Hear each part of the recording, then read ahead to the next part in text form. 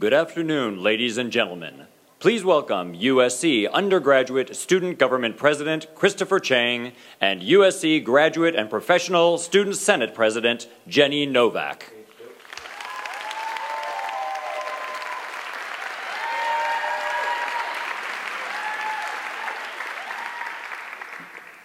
Good afternoon, everyone, and welcome to the President's University Address to the students. On behalf of the undergraduate students and the graduate students, Jenny and I would like to express our gratitude for this exciting opportunity to learn about the future of the President of the USC from the President himself. President Nikias arrived at USC in 1991 to become a faculty member in the School of Engineering. As an engineer, he rapidly gained worldwide recognition for his pioneering research on digital signal processing digital media systems, and biomedicine. Several of his eight patents have been incorporated in sonar and radar systems by the U.S. Department of Defense. His numerous scientific accomplishments resulted in his election to the National Academy of Engineering, one of the highest professional honors accorded to any engineer. But he was more than just an engineer.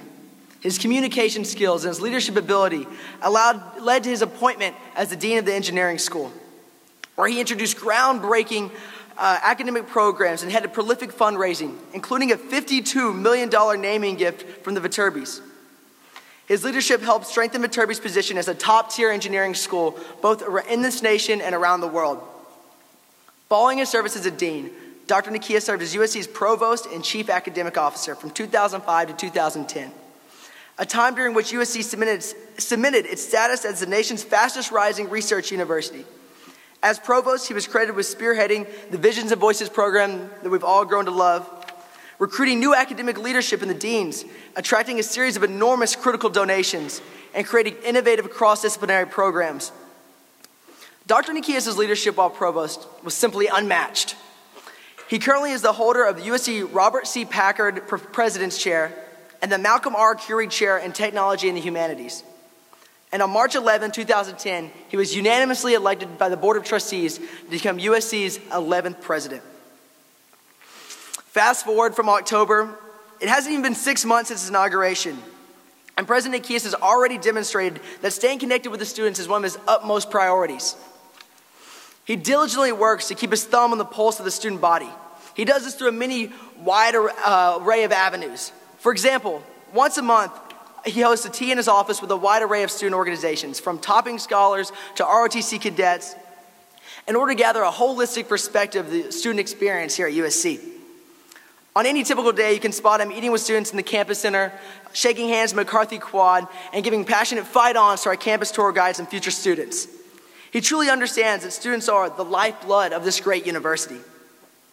On a personal level, President Nikias has been such a joy to work with. He has a fantastic sense of humor, a savvy fashion sense, and wise advice. But he doesn't just listen. Um, well, for instance, uh, when he, you give ideas to us, we give them to him. And he actively listens to those ideas. Um, but he just doesn't listen. He actually does and he acts and uh, really analyzes uh, what we say and not just, uh, just to pat ourselves on the back. Take this event, for example. When he asked us for advice on how to stay personally connected with the students um, last spring, this event was one of our suggestions. Um, in December, when he told us that we, he was planning on taking up our idea, he said, Chris, I'll present to you the students like you suggested. But if no one shows, you will be to blame. So, from the bottom of my heart, I thank you all for coming. We're,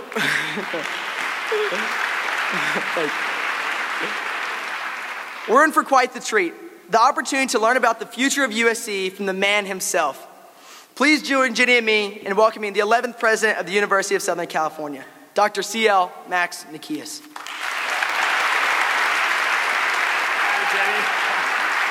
His neck was on the line.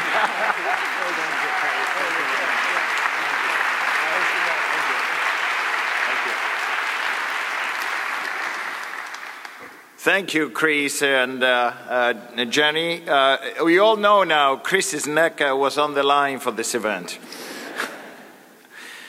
but uh, I really want to thank uh, both of them and the other representatives of our undergraduate and graduate student groups for their service on behalf of all of you and for leading the effort to create what I hope will be a lasting tradition at USC an annual presidential address specifically for the USC student community.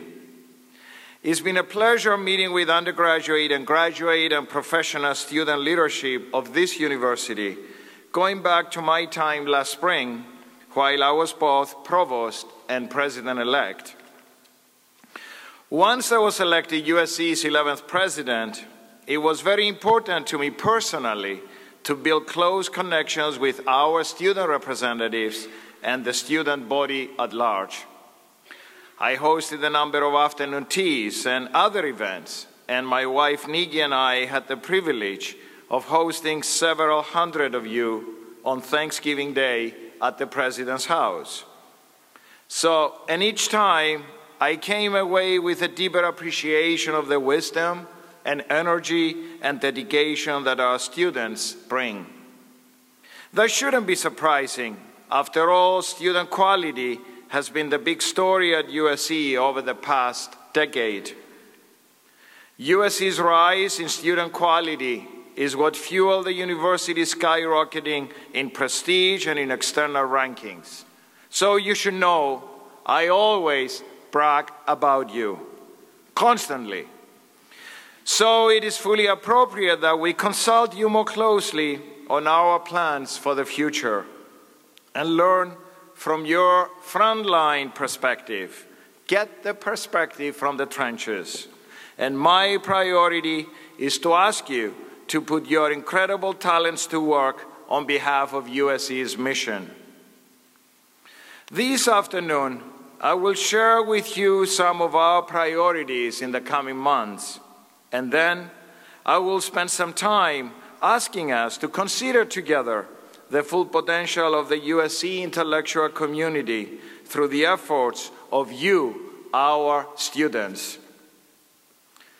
At the moment when USC has been moving forward quickly, most of our competitors are standing still because of the economic crisis. Some of them are even moving backward. So if USC can accelerate the pace, it has the opportunity to reach what I call the undisputed mountaintop of higher education, to become an unsurpassed engine of economic advancement and innovation, and a university that is a fountain of culture and artistic progress. The value of the USC brand and the opportunities it opens up for all of you to make your mark on the world. Yet, Although USC already has great momentum, as you all know, the last leg of a great climb is always the steepest and the hardest and the most difficult. It is also the most memorable and the most rewarding. Along the way, USC must find the resources necessary to complete its metamorphosis into an undisputed world class university. So, this coming September, USC will announce the most ambitious fundraising campaign in its history. Our goal is to increase the, pr the proportion of our, of our endowment funds that support student scholarships at both the graduate and undergraduate level. Over the course of this semester, you will also be hearing about a new strategy planning process. The process is led by Provost Garrett, who is working with faculty and students and staff to map USC's academic strategy for the future. I would like to consider for the remainder of this address how you can strengthen USC through one particular essential way. I want each of you and all of you to celebrate this city. I ask that you make it a point to celebrate the riches of this vast world class city more fully than ever before, from the surrounding neighborhoods to distant freeways and beyond. This provides a unique opportunity to turn, our, to turn your college career into a dynamic moment for exploration and for personal metamorphosis. Allow yourself to be surprised. take stock of the city's advantages.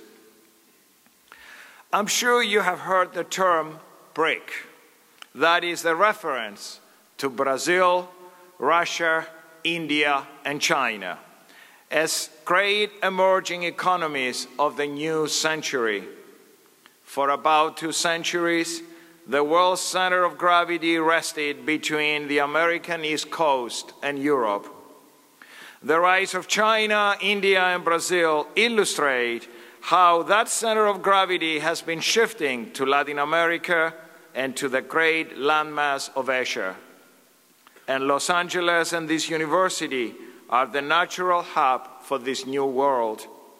And as a result, Los Angeles is unsurpassed in its diversity.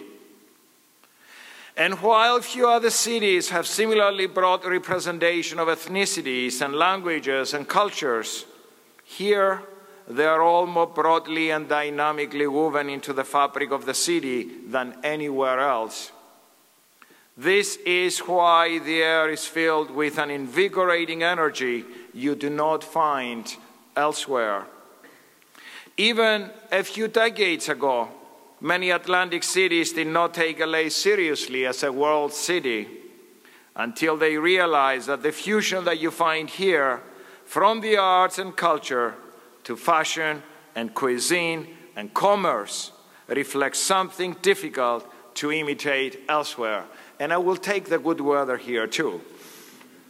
So increasingly, many others appreciate Los Angeles, how it's so open to change, to reinvention, to forward thinking, and to possibilities without limit. So allow me to ask whether you are from Burbank or Boston, Torrance or Tokyo, have you been open to receiving all that Los Angeles has to offer? I love how the student leadership worked passionately with our administration to increase transportation options that let our students see more of the city, from LA Live to the Getty Museum to Griffith Observatory and the Santa Monica Pier. I thank Chris and Jenny and the rest of the student leadership for this great service they have done on your behalf. I believe the best way to experience this city fully is to live on campus, which is so centrally located within this great metropolis, so connected to downtown, so accessible to Pasadena and Santa Monica and the Valley and the South Bay. I know not all students are able to live on or near campus.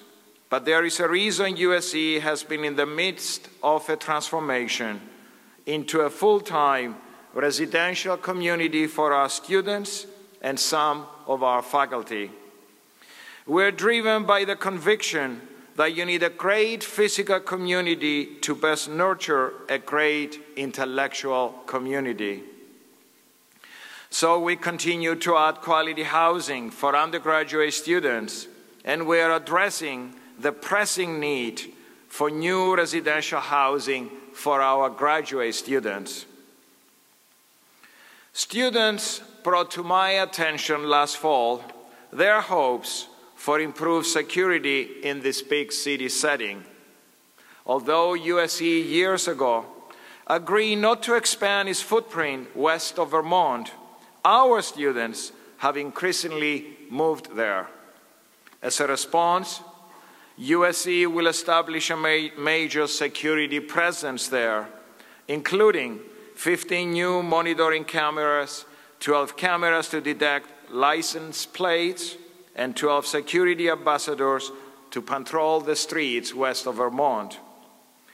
This is part of a major 3 million per year investment in security improvements to the overall residential areas, which represents a trebling of security monitoring compared to four years ago.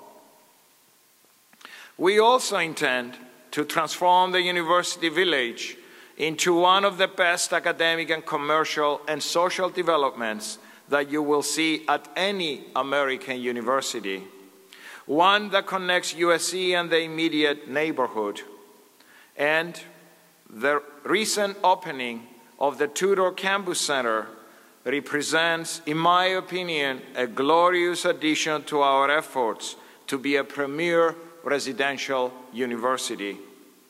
The Tutor Center serves as the majestic town square for our students, faculty, staff, and alumni for generations to come.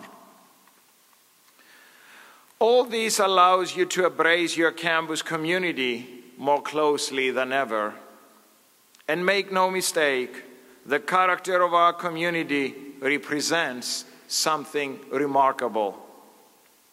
I'm a student of history. I love history. And the USC historical figure that most fascinates me is that of our chief founder of USC, Judge Robert Maclay Widney. Widney was an extraordinary figure. Actually, he was known as the pistol packing judge. And he became USC's first chairman of our Board of Trustees. And he personally wrote the USC Articles of Incorporation in, 19, in 1880. For many years before our founding in 1880, Judge Widney worked tirelessly to establish a great university, one that he felt Southern California needed to become a world class region. During that same time, the American West was struggling with an early collision of cultures. Anti Chinese sentiment ran high across the West. Jealousy, economic fears, and labor disputes fanned the flames of violence and murder in Los Angeles. One night, anti Chinese riots broke out in Los Angeles. Deadly mobs took to the streets. And at the moment of high fever during those riots, Judge Widney plunged into the crowd at the risk of his own life. Judge Widney held his gun high and fired a single shot. The crowd stepped back, and the future founder and first chairman of USC then escorted a number of Chinese immigrants to safety. It was at that moment, on that evening, that the DNA of USC as a global institution was called into being. In that moment, on that evening, the character of USC began to take shape. Character is destiny, and USC would have an inclusive character. A few years later, ethnic and cultural minorities would be among USC's first graduates. And look what USC's DNA has blossomed since then. We have one of the most diverse student bodies among research universities in the country. 22% of our freshman class every year are underrepresented minority. Among research universities in California, only Stanford and USC are unsurpassed in the proportion of underrepresented minorities, including Hispanic, African American, and Native American students.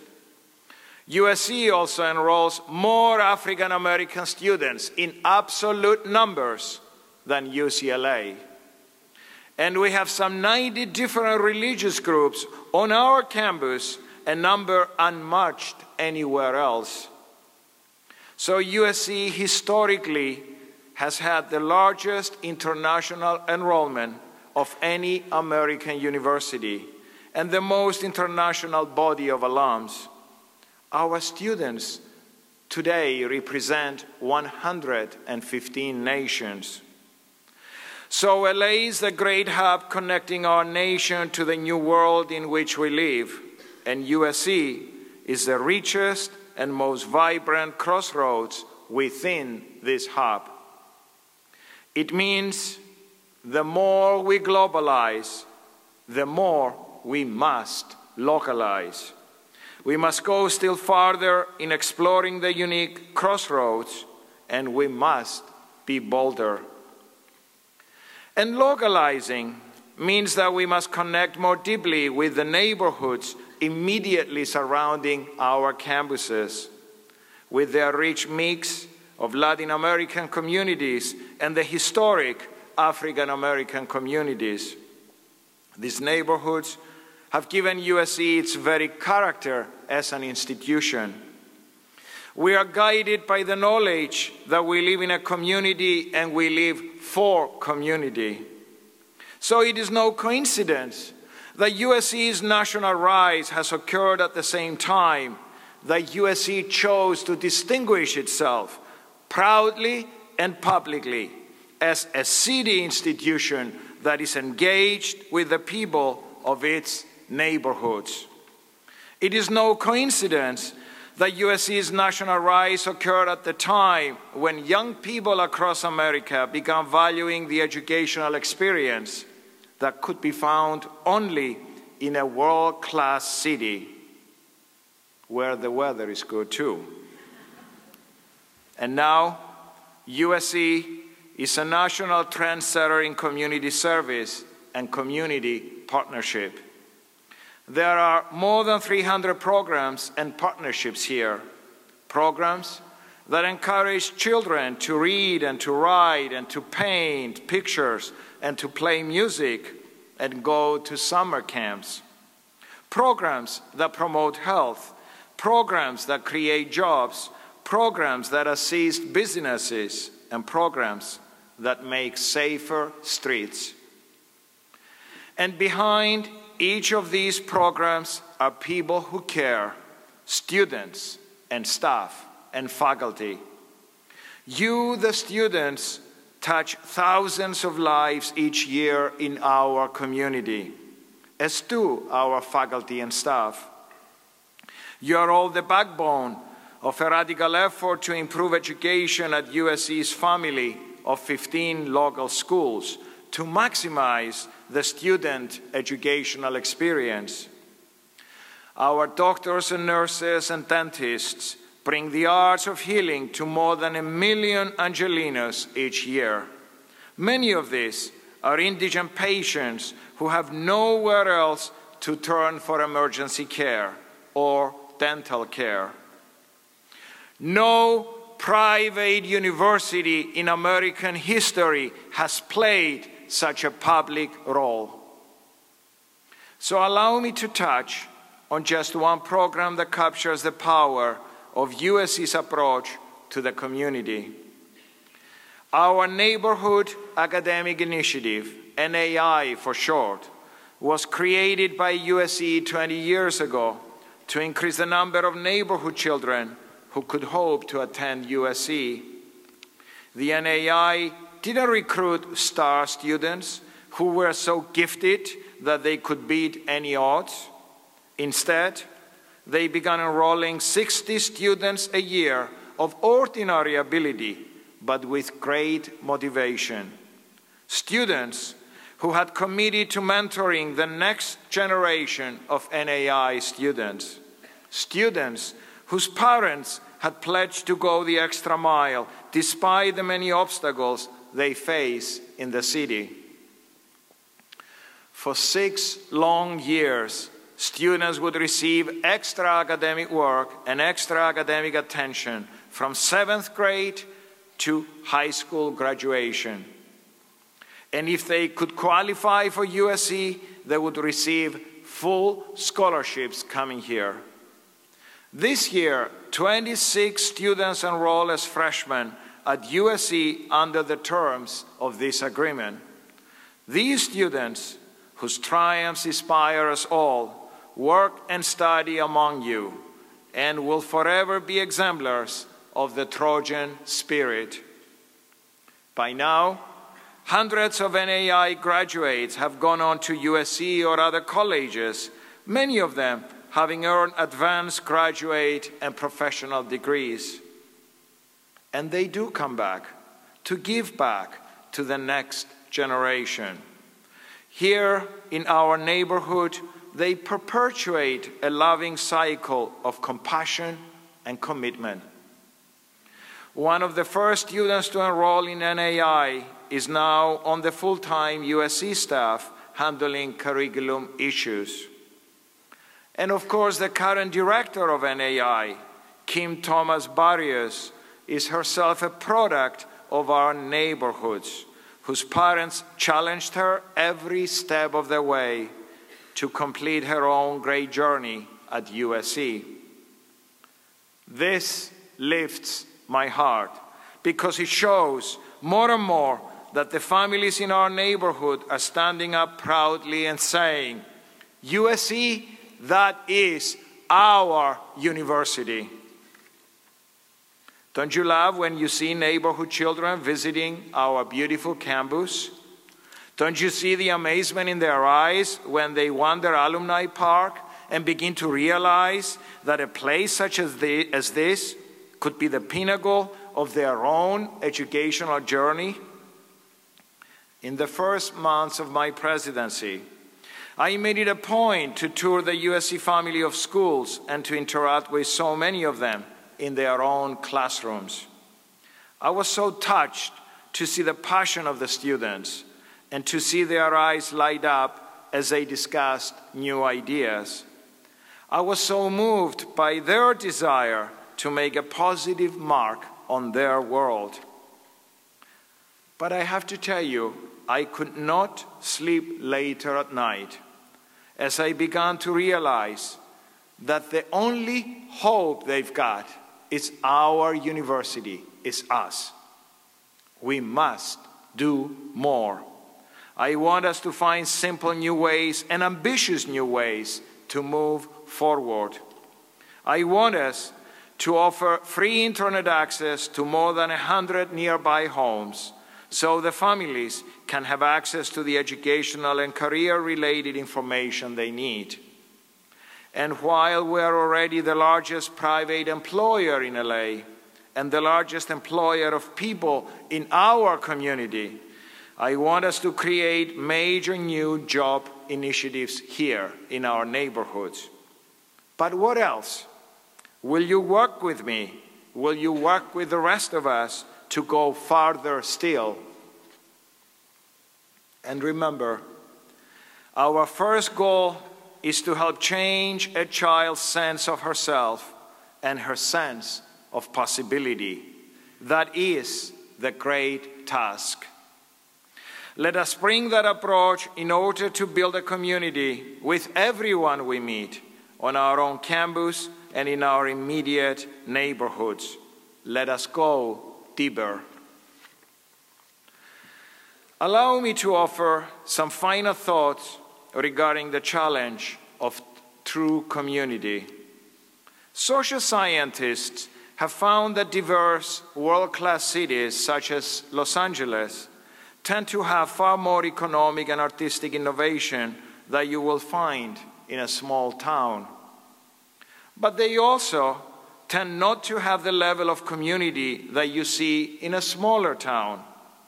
And measured by volunteerism and civic involvement and membership in local groups. This is partly because it is challenging to create true community among diverse communities.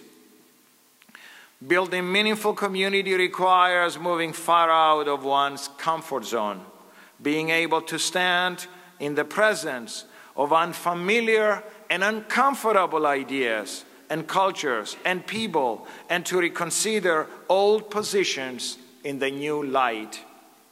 Sometimes this is uncomfortable, and other times it shakes us to our core. It is always mentally and emotionally easier to isolate ourselves with persons and ideas that are more familiar to us. The famous Mexican writer Carlos Fuentes attempted to make sense of this in a world in which increasing interconnection is leading to increased friction. In his book, The Buried Mirror Reflections on Spain and the New World, he wrote, We are Iberian and Greek, Roman and Jewish, Arabic, Gothic, and Gypsy. Spain and the New World are centers where multiple cultures meet, centers of incorporation, not of exclusion. When we exclude, we betray ourselves. When we include, we find ourselves. At USC, we live to include, and in this way, we do find ourselves. When community happens among people from many different backgrounds, the air crackles with life and the imagination is supercharged. USC has been pronounced one of the best in the country, if not the best, at community service. This praise has come from Campus Compact, the Carnegie Foundation, the Time magazine, the Princeton Review, and so on. There is also something called the Saviors of Our Cities, a survey of best college and university civic partnerships. This survey is done by a college president who believes passionately in the difference that a university can make in a big city environment. And in his past two surveys, USC listed as first or second in this area. I think we can all feel some justifiably pride that our efforts, justifiable pride that our efforts are being recognized. But with all due respect, I want no one to refer to a university as a savior of its community. Great universities must be respectful partners with our communities. That is the ethos that USC brings. We respect and cherish our community, and we learn humbly from our community.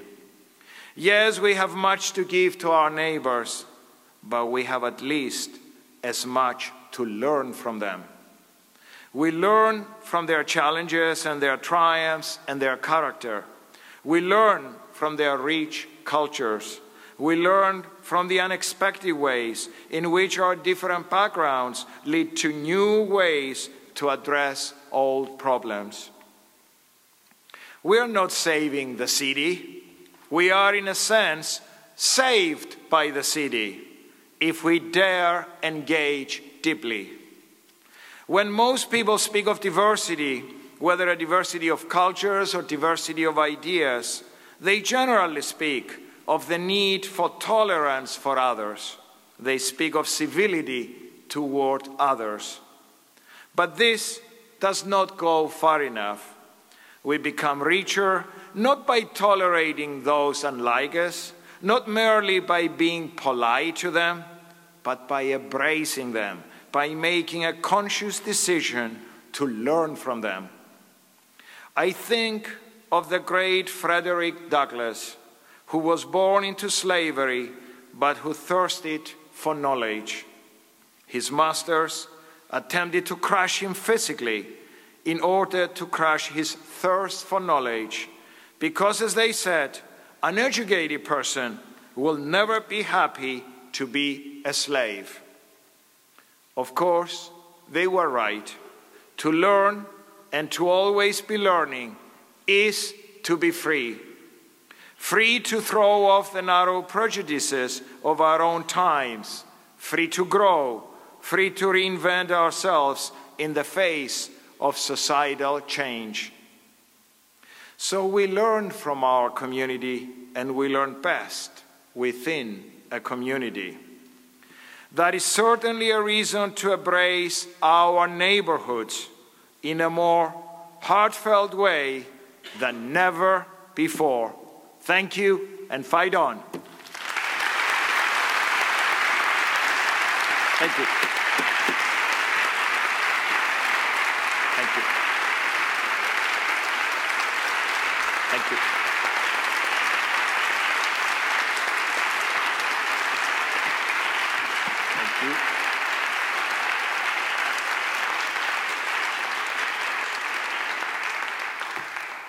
I'll be glad to take questions. Uh, Dennis tells me for 10 minutes.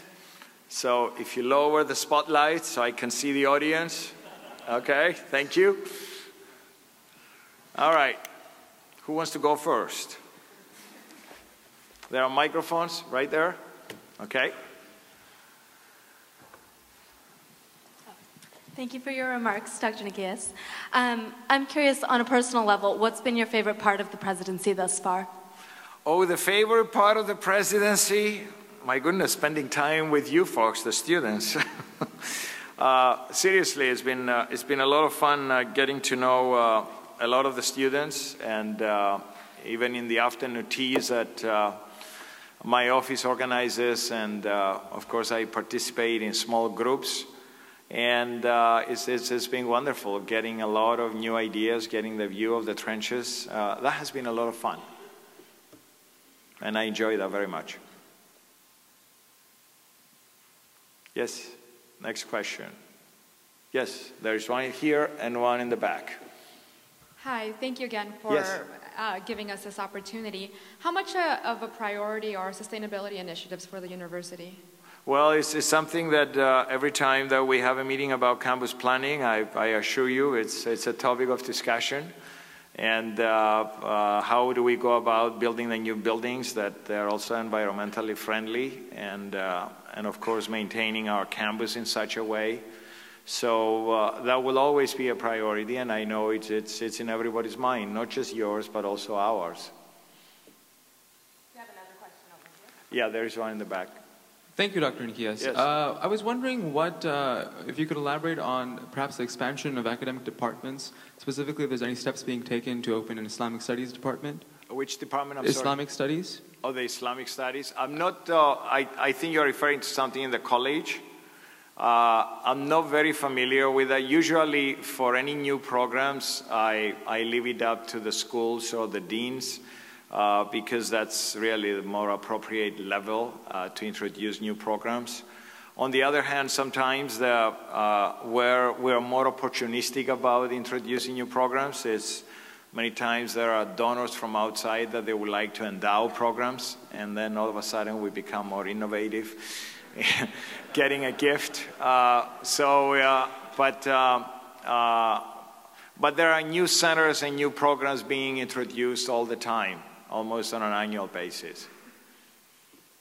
What is more difficult is that I'm sure you know is, is when you try to close a program, then that's, it's, it's easier to open a new one than close an existing one. Yes.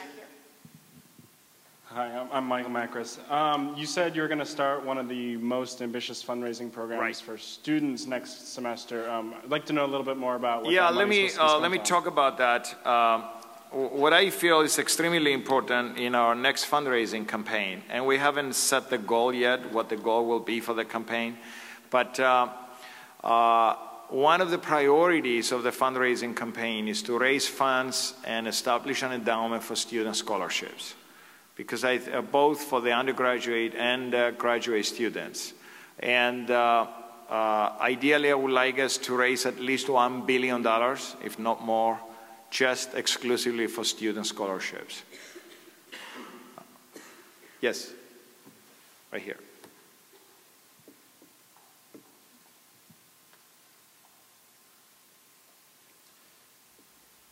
Because that's the only way, by raising funds for student scholarships, that's the only way we can secure all the academic gains in student quality uh, for the long run.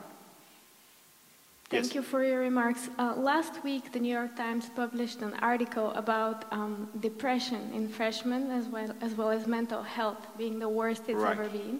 Right. Uh, what, if anything, is USC doing to aggressively address this issue? Well, it's. Uh, I know our student affairs uh, uh, office, and uh, and as part of the residential life and the services we provide, it's it's something that we we always concern, uh, and uh, not just this year. This has always been a concern, and I can speak for uh, my years that I have been here at USC, especially in academic leadership positions, as dean or provost, and now president, and. Uh, um, you did, uh, you did read my memo that I sent out advising you not to go to raves. And I, I listed, and I listed uh, there uh, also links uh, to websites where you can seek counseling and uh, a lot of those services that are available from the university.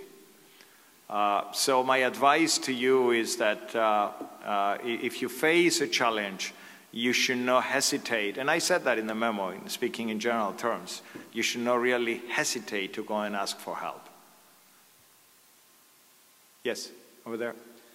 Hi, uh, yeah. President Nikias. Hi. Um, as USC continues to increase its footprint in the neighborhood, there right. are rumors that uh, there's interest in purchasing the Coliseum, and I was just wondering if you're able to comment on that, if there is Gosh. actually, if there's truth to that rumor.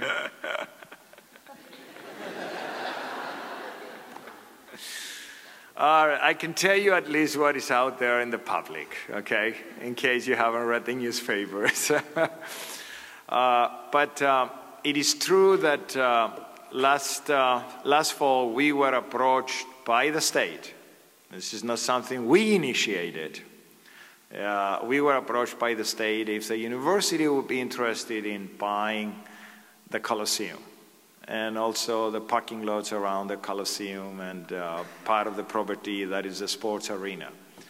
And, uh, you know, when there is such a request, uh, you always feel, if you were in my shoes, all right, let's do our due diligence. Uh, it doesn't mean that we made up our minds we want to buy these properties, but let's do our diligence. And uh, you always, you have when you have to deal with an undertaking of this magnitude, uh, doing your diligence, you have to look what are the pros and the, what are the cons, and then you have to weigh them. You consult a lot of people.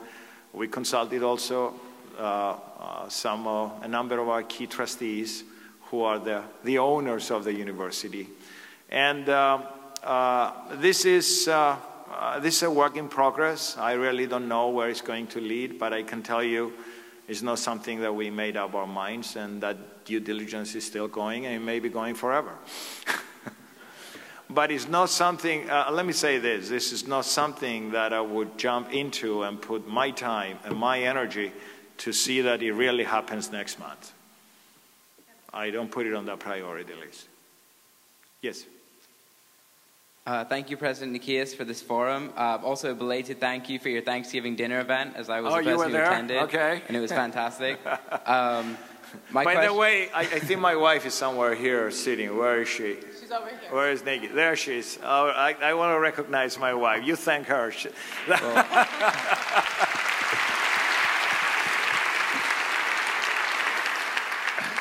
well, thank you, Mrs. she Nikias. supervised the cooking. Excellent.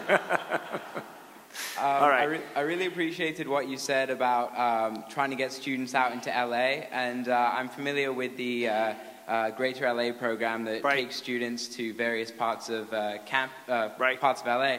Um, is there anything else that either the administration plans to do or that you would like to see out of the student groups as far as getting us immersed in LA? Well, this is where you see, for example, the transportation issue. It was a bottom up. It came from your student leadership bringing that to the attention of uh, my administration. So I would love to get more ideas from you, and uh, you can channel those through the student leadership groups and bring them to our attention. And then you'll be surprised. I mean, the transportation was one. The security issue in west of Vermont was another that was brought uh, to my attention. And many other initiatives that you will be seeing in the future. And then the other one in this uh, strategic planning process that the provost has in place, that's another forum stage for you to really voice a number of ideas uh, for, for the future of our university. Yes? Thank you, Mr. President. Uh, we know that USC is one of the best universities in the US, but I think that uh, the only thing which goes against us is the tuition fee we are on the higher end on that side. So is there anything which we are We doing are, I'm sorry, on? I mean, the tuition fees are on the higher end. Oh, the tuition. Yeah. Yes. So Uh, is there an- anything which we are doing Well, to I mean, them? uh, you're up. I mean, if there is one thing I, I worry about is, is exactly what you said. And that's why uh, uh, one way in the long run to, uh, to address that issue is by building the endowment through the fundraising efforts and being able to offer a lot of student scholarships. Uh, and so, uh, so the tuition doesn't look that expensive for a lot of students. But you should also keep in mind, and this is for the undergraduate programs, that this university puts on the table every year close to $200 million of student aid. And that's the largest pool as compared to any other American university today. Uh, but we don't, and, and actually 65, 67% of our undergraduate students receive some form of financial aid. Uh, but clearly, this is not an accomplishment that we have to rest on our laurels. And that's why the fundraising uh, campaign we're going to announce is going to have one of the top priorities to raise money for student scholarships. Last question. Yes. Second from last. Uh, thanks again, President Kiss, for speaking. Um, Yeah. I just had a quick question in terms of the future of USC and things that are building on campus. Um, what are the plans like right now for the new Student Health Center? I know that's been something that's talked about. We're going to break ground this year.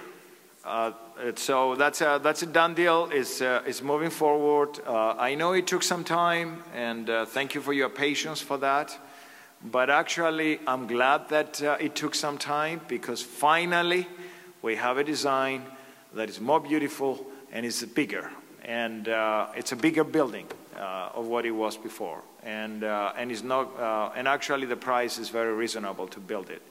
So we're going to break ground uh, this year, and it should be ready, I'm told, by December of 2012 for the Student Health Center to move in there. Okay? Those of you who are graduating before that, I'm sorry.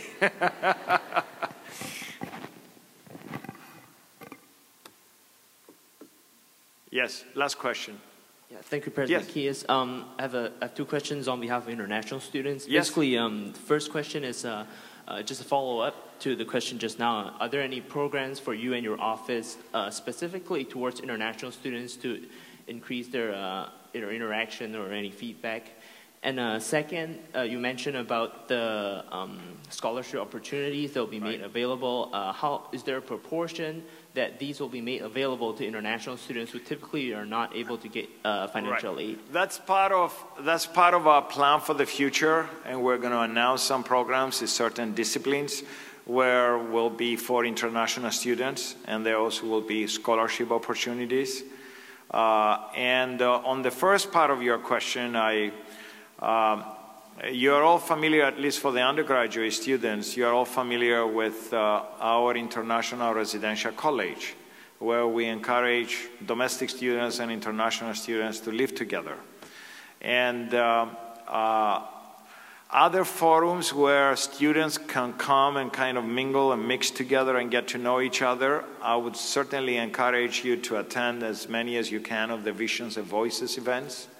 Uh, I think those are great events where you can socialize and meet students uh, from uh, other parts of the country or other nations and or other disciplines that you wouldn't meet otherwise. And uh, I think you ought to take advantage of the Visions and Voices events. Or even exploring Los Angeles, or going together and cheering the Trojans uh, in the Coliseum. There are a lot of activities, there are a lot of more than 600 student organizations or student clubs where you can get involved. But you should not forget that your primary responsibility being here is to study and study hard. Okay?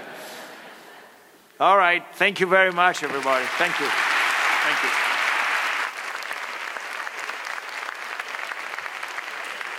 Ladies and gentlemen, thank you for joining us for the President's Address to the Students. Please join us in front of Bovard Auditorium for a dessert reception.